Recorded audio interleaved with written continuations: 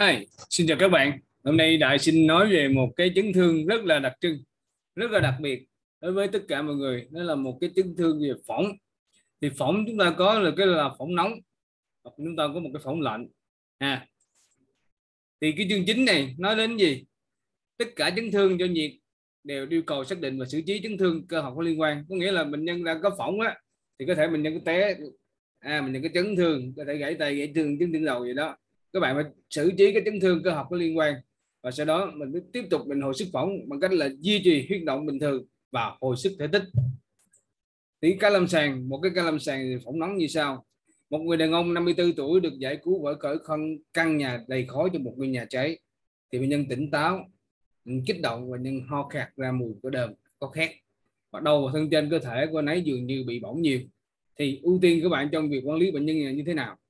À, thì chúng ta có những nguyên nhân nha. Mỗi nơi sẽ có những nguyên nhân khác. Tuy nhiên ở Việt Nam đặc biệt ở thành phố Hồ Chí Minh chúng ta có những nguyên nhân rất là đặc trưng sau đây. Rất là nhiều người thấy nha. Ở chợ rẫy chúng ta rất, gặp rất nhiều là bếp đang ăn uống đang nhậu thì bếp cồn hay bếp cồn khô cồn nước có thể gây phỏng. Đây là một trong những nguyên nhân gây phỏng chủ yếu à, lớn nhất nhiều nhất hiện tại.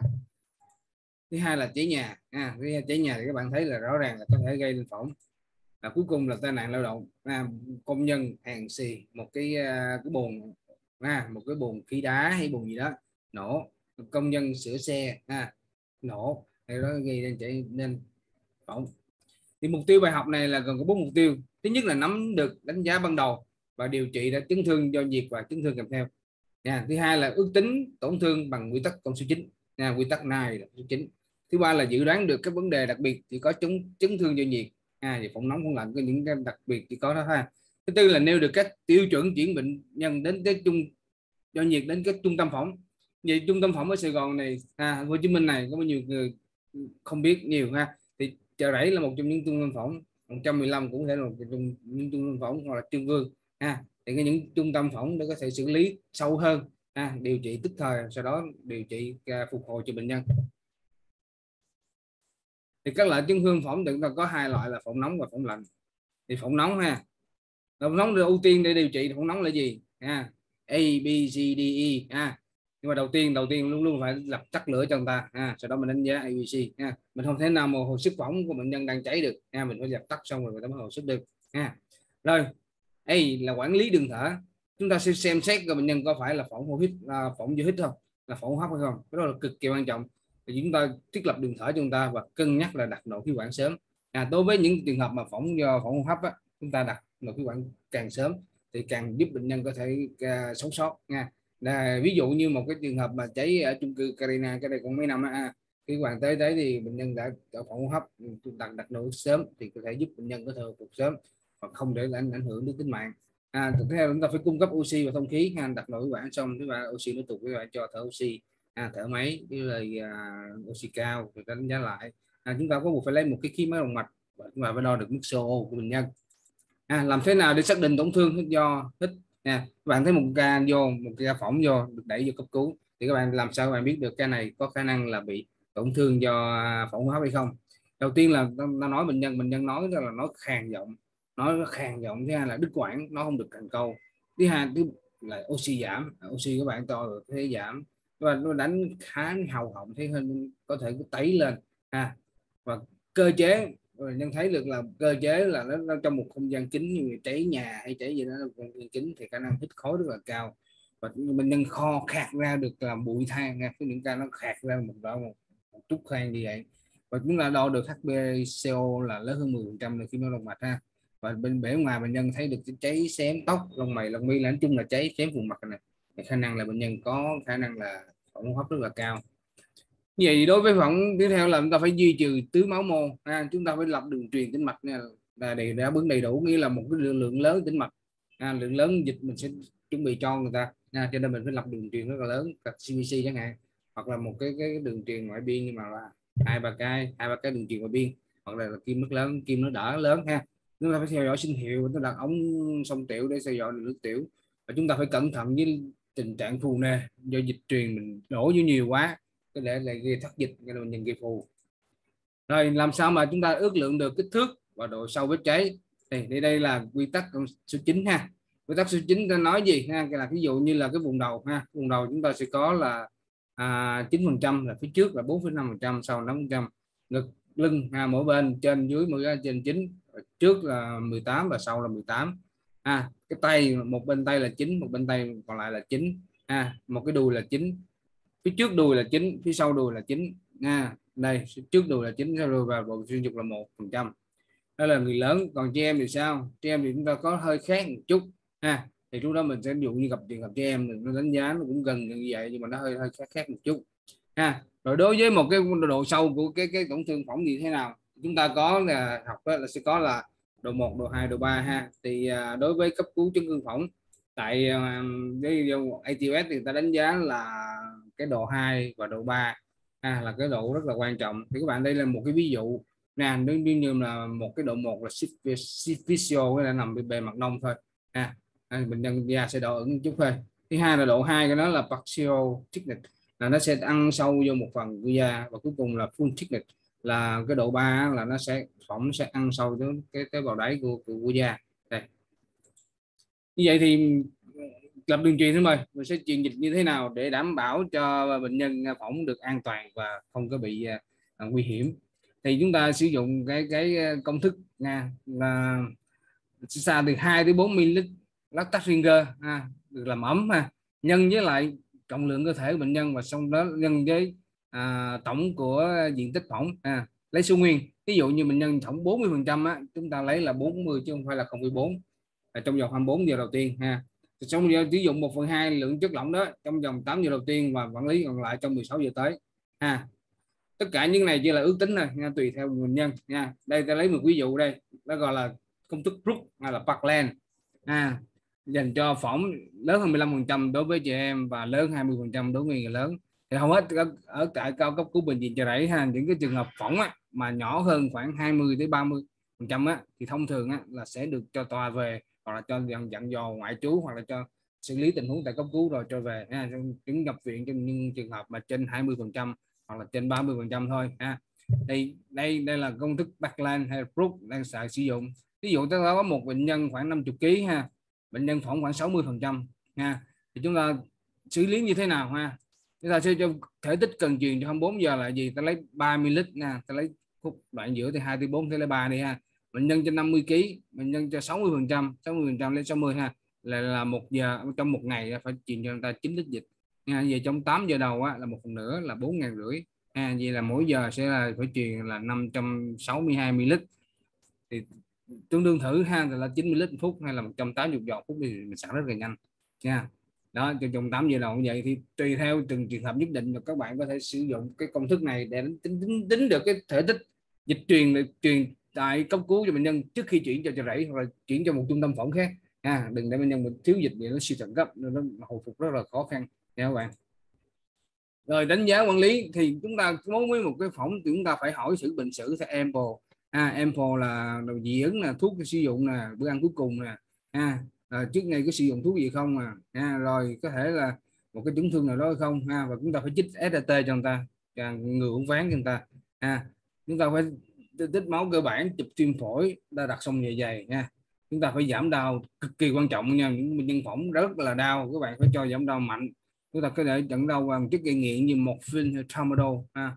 Chúng ta phải săn sóc vết thương người ta chúng ta phải bồi phải phỏng chúng ta phải là giảm đau người ta có những dụng cụ xịt rõ ràng trên trên trên à, trên à, trên vết phỏng chỉ là giảm đau rất à, giảm đau và đừng tránh tổn thương trên ha chúng ta chúng ta phải đánh giá ra ghi chép tài liệu rất là rất là kỹ càng về mấy cái phỏng đó.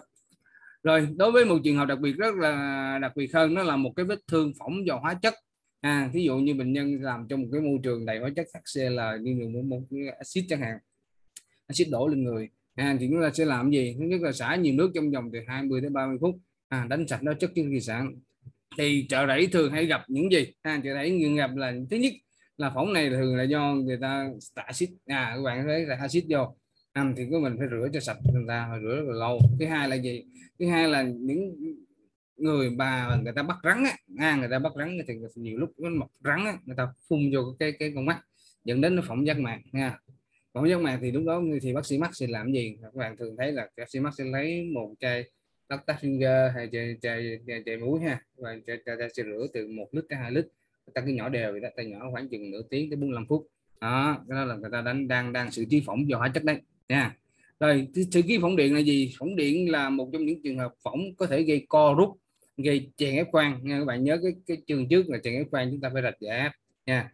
Thì cái này phỏng điện nó ăn rất là sâu có thể là ăn vô bao cơ ha à, chúng ta phải rạch có thể là phải rạch đây đây là một cái à, đây gạch gạch giá áp đây gạch giá ép đây à, ví dụ nhưng mà có cái tiểu myoglobin chúng ta phải dịch chuyển nhiều hơn chút ha. Duy trì máu tuyến máu đủ. Như vậy thì khi nào mà chúng ta chuyển một bệnh nhân phỏng tới một trung tâm phỏng à, ví dụ như các bạn đang trực ở một cái bệnh viện tư các bạn đang trực ở quận à, ở quận các bạn đang trực ở huyện hoặc các bạn ngay trả bạn trực ở phòng khám chẳng hạn vậy thì khi nào các bạn chuyển bệnh nhân tới một trung tâm phỏng ví dụ như bệnh viện chợ rẫy bệnh viện trương vương hoặc là bệnh viện một năm à, thì các bạn thấy thì độ 2, độ 3 thì nên chuyển các bạn nên chuyển. À, thì à, trên 10 phần trăm thì nên chuyển cho người ta. Hoặc là mình nâng có một bất kỳ ha kích thước nhỏ to nhưng mà nó nằm chỗ ở mặt ở tai đôi tay quần sinh dục ha tầng sinh môn. Hoặc là ngay cả khớp chính nè ví dụ như ta phỏng ngay đây nó co kéo khó lắm mốt nó keo nó co rút lại người ta không thể gấp lại được người ta mở được ha. Hoặc người ta một cái tổn thương là phỏng độ 3 ở bất kỳ một lứa tuổi nào ha. Thì cái đó là nên nên chuyển. Rồi chúng ta có thể chuyển một cái bóng điện đáng kể. Ha bên cạnh vết thương nhẹ. Vì phóng điện thì nên nên chuyển ha. nhưng mà phóng điện các bạn nhớ các bạn luôn luôn nhớ làm cái điện tim cho người ta. Ha à, điện tim tại vì nhiều lúc cái cơ tim nó tổn thương nó ảnh hưởng đến nên cứ cơ bóp và có thể gây nên những một cái tim hoặc là tổn thương à, hủy cơ tim cấp. Nha. Chúng ta hỏi bỏng hóa chất đáng kể cũng nên chuyển. À, ha. hô hấp. Phỏng hô hấp là nên chuyển rồi ha. Chúng ta phải cố định lại chúng ta phải đặt nội khí quản sớm ta phải bảo vệ đường thở cho ta sớm. À, bệnh nhân các mắc cái bệnh có tiền sử có thể làm phức tạp điều trị phục hồi. Ví dụ bệnh nhân có suy tim ha à, suy tim nặng hay là CBD à, nặng hoặc là bệnh nhân có một cái tiểu đường nặng thì đó thì tốt nhất là nên chuyển tới trung tâm phỏng để chúng ta có phối hợp với các chuyên khoa. Và các chấn thương có liên quan làm chăm sóc trung tâm phỏng. Ví dụ nhà chúng ta phải chăm sóc cái chấn thương mà nguy hiểm. À, nguy hiểm tính mạng xong nó ổn hết rồi chúng ta phải nên chuyển A, B, C, D, primary survey, secondary survey ổn định rồi. Đó mình mới tính chuyện tới, tới trung tâm phỏng. Thì chuyển viện như thế nào? Chuyển viện chúng ta phải alo trước ha. Chúng ta gọi trước đánh giá cho bệnh nhân. Ok chúng tôi sẽ chuẩn bị chuyện cho các bạn. Một cái ca phỏng khoảng 80 phần trăm ha do chế nhà chẳng hạn vậy. Thì ở đây chúng tôi sẽ đánh giá và chúng tôi sẽ à, đáp ứng. Ra yeah. thứ hai là phải có một cái tài liệu của các xét nghiệm liên quan đã làm gì rồi để từ đó chúng ta phải phối hợp lại. Ví dụ dưới đó người ta đã truyền được hai lít dịch rồi. Ha tới đây mình phải đánh giá lại chứ phải mình nắm đầu nắm gỗ nắm lại mình truyền tiếp. Lúc đó mình nhiều lúc dịch qua nhiều quá nó dẫn đến tình trạng là thất bạch vô một kẻ phù bệnh nhân. Ha đó là những cái rất là cơ bản ha để đánh giá bệnh nhân. Vậy ha như vậy thì ca lâm sàng hồi nãy là gì? Ha bệnh nhân nam 54 tuổi cháy, cháy nhà được đưa ra. Bệnh nhân tỉnh táo kích động ho khạc cái mùi khét. Có nghĩa là bệnh nhân đã có dấu hiệu của một cái phỏng hô hấp rồi. Ha đầu thân trên cơ thể nó dường như bị phỏng nhiều cái này chắc chắn là trên 20 phần trăm rồi. Ha thì cái này là gì? Cái này thì tốt nhất là cho nhất là dịch truyền cho, cho đủ. À, bệnh nhân năm tự tụ bao nhiêu ký mình công thức bắt lên ra được truyền. Thứ hai là mình có thể cố định mình à, có cố định là bảo vệ đường thở người ta bằng cái ống nội đặt nội khí quản. Người ta mình thứ ba là mình giảm đau tốt cho người ta. Mình giảm đau an thần trùng kinh trung ương nha. Ví dụ như là một phim ví dụ như là đô lạc găng petidin ha đó sau đó mình liên hệ với là trung tâm phỏng và mình chuyển bệnh nhân đi cho nó an toàn nha. Bây giờ chúng ta nói tiếp đó là một cái phỏng lạnh. Vì phỏng lạnh ở Việt Nam mình thật ra cũng không có nhiều tuy nhiên không phải là không có nha. Thì phóng lạnh tên là một cái ví dụ là kinh điển ở, ờ, ở, ở nước ngoài chẳng hạn vậy. Nơi cái mùa lạnh nó sẽ ờ, nhiệt độ sẽ dưới thấp không độ. Mười mười lạnh 72 tuổi nằm sau vườn khu vườn. Nhưng nhiệt độ là trên không độ tí xíu thôi. À, như hai ba độ ha. chân bên phải bệnh nhân bị rút ngắn và xoay bên ngoài. À, các ngón chân và ngón ngón tay ngón chân vào đấy trắng bệch và lạnh. À, bệnh nhân là rõ ràng là bị lạnh rồi bị phỏng lạnh rồi ha yếu tố trên bạn xem xét ban đầu như thế nào ha. Thì chúng ta phải đánh lạnh ảnh hưởng đến bệnh nhân như thế nào thì chúng ta phải đánh giá được nhiệt độ bao nhiêu thời gian tiếp xúc với lại nhiệt độ lạnh như vậy bao nhiêu. Và điều kiện môi trường ví dụ điều kiện môi trường nó lạnh rơi là lạnh như vậy dưới gần như không độ vậy thì khả năng mà nó cũng lạnh rất là cao. À, bệnh nhân có cố định gì không ha? Bệnh độ ẩm độ môi trường này là có nhiều hay không? À, bệnh nhân có thể tổn thương mạch máu hay không? Mà có những cái vết thương hở hay không? Nha như vậy thì làm sao biết được nhận nhận biết phỏng lạnh? Nha phỏng lạnh nó sẽ có khác cái phỏng nóng một chút ha phỏng lạnh thì người ta sẽ nhận biết qua các tổn thương ở đầu chi. Ví dụ như là tôi gọi là frostnip à, hay frostbite ha, đây là một cái ví dụ frostnip là một cái ứng đỏ đây ha à còn frostbite frostbite nó chia làm hai, một cái frostbite sâu và một cái frostbite nông. À là phỏng lạnh đây này là nông nông nó sẽ phòng phồng lên nóng như đó. À nhưng mà sâu bắt đầu nó da nó đầu hoại tử, nó đầu đen. À và tổn thương không đồng. Nha, như vậy thì điều trị phỏng lạnh tại chỗ như thế nào? Phỏng lạnh chúng ta làm gì? Chúng ta phải giảm bớt thời gian đóng băng của mô đi. À, ví dụ như bệnh nhân đang lạnh. Đây là lúc này vô cái gì đó lạnh như là đi ta lỏng chẳng hạn chúng ta phải làm cho giảm. Nè chúng phải ra đi ha. Chúng ta thay áo quần ẩm ướt bằng khăn ấm thì cái này rõ ràng rõ ràng ha. Rồi đặt phần cơ thể bị bị thương trong nước lưu thông ở nhiệt độ không đổi. 40 độ. À, ha, 204 độ F ha, cho đến khi mà hồng trở lại. Ha, đặt vô cái thao nước còn 40 độ. Nha 40 độ không đổi. Có nghĩa là nếu như nó thấy nguội hơn mình có thể pha thêm ha chúng ta phải tránh nhiệt độ khô chúng ta không được trà sát và xoa bóp vùng gây ra tổn thương nặng hơn. À, làm ấm lại là cực kỳ đau đớn nha các bạn? Không phải là bệnh nhân lạnh đưa vô nước ấm 40 độ là bệnh nhân thoải mái đâu. Nhiều lúc người ta cảm giác rất là đau do độ nhiệt độ đột ngột nha nhất là cái đầu chi này nó có nhiều cảm giác ha. Chúng ta phải giảm đau cho người ta rất là mạnh ha. Có thể là xài cái kinh nghiệm như một phim hay là betadine rồi là gan vậy thì tiếp theo đó là một cái tổn thương nặng nhất của một cái phỏng lạnh đó là hạ thân nhiệt toàn thân bệnh nhân ở ngoài nhiệt độ không độ hoặc là nhiệt độ lạnh quá lâu ha dẫn đến tình trạng là thân nhiệt nó sẽ giảm rất là nặng.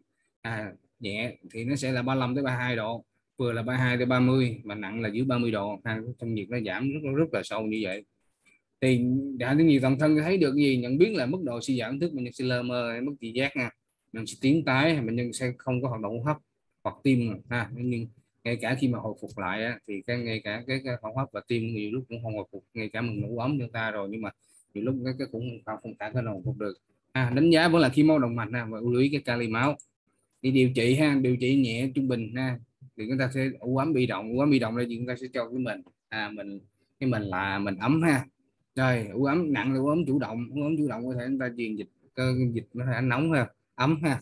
Lúc đó thì uh, dịch nó sẽ vô cơ thể và nó sẽ cho cái tuần hoàn nó đến chủ động thì ủ ấm uh, chủ động hay bị động sẽ là một, một cái, cái cái đề tài rất là hay.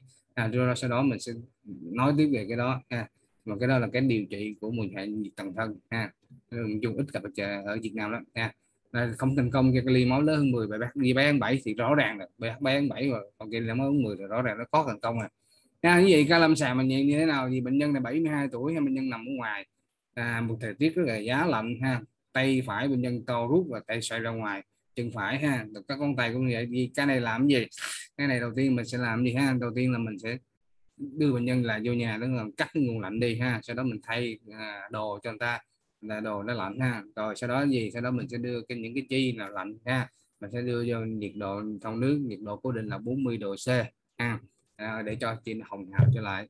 Và nhớ là luôn luôn giảm đau cho người ta. Những nó tại vì nó ngay cả khi phỏng nhiệt mà nó thay đổi được đột ngột thì dân thì nó cũng rất là đau à như vậy tóm tắt lại, thì chúng ta có hai loại phỏng, ha, tức là phỏng nóng và phỏng lạnh. Nó có ba ý của phỏng nóng là thứ nhất là nhận biết và điều trị cái phỏng hấp. Các bạn phải biết được cái phỏng hấp để các bạn đặt nội khí quản sớm để bảo vệ đường thở cho người ta, không thôi là người ta có thể co rút ha à, người ta sẽ nghẹt thở và người ta sẽ chết rất là sớm. Thứ hai là hồi sức dịch hiệu quả, dùng phương pháp backline để đánh giá. Nhớ lại cái backline là gì, ha, nhớ lại. À rồi à, tính cái bán lại ha rồi một nửa cái lịch dịch nó sẽ truyền trong 8 tiếng 16 tiếng sau sẽ nửa dịch còn lại ha. Rồi và cuối cùng là phải nhận biết được cái, cái trường hợp phỏng cần chuyển viện khi nào chuyển ha khi nào chuyển đến trung tâm phỏng khi nào có thể điều trị tại chỗ được ha để tránh giảm tải ha. Và cuối cùng là phỏng lạnh là gì? Phỏng lạnh là tổn thương lạnh cục bộ cần điều trị nhiệt ẩm ha sau đó bà giảm đau toàn thân nước nào cũng nhớ giảm đau cho người ta à rồi xin hết. À, các bạn có có một câu hỏi thắc mắc về phỏng à, rất là hay thì các bạn thấy comment dưới để tôi có thể giải đáp và mong các bạn hiểu sâu hơn về phỏng nha xin chân thành cảm ơn.